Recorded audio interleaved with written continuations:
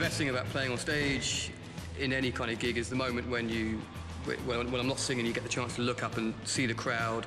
Guitar Hero, they, they sort of put you in these venues with all the crowd there, so it's nice to get the chance of what it feels like to be on stage because I think it's the best, uh, best feeling in the world. So I think hopefully people can uh, get the chance to feel what it's like to be in a band, basically.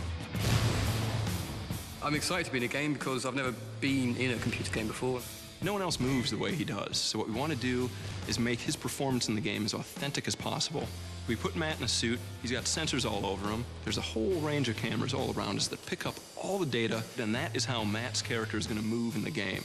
I was trying to remember uh, some of the gigs that I've done when I remember playing, playing Plug-in Baby, so, uh, so I was just sort of trying to close my eyes and just imagine I was on stage at Glastonbury or something. The key is to try and mimic all the movements that I'm doing, otherwise it's not going to work. You've got to spin around and jump as much as you can, and then you might get somewhere.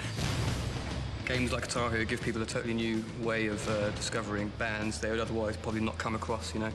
Um, there's, there's definitely, I think, a lot of people out there that play games and buy games in the way that people used to buy records, you know, uh, back in the 80s or 70s or whatever.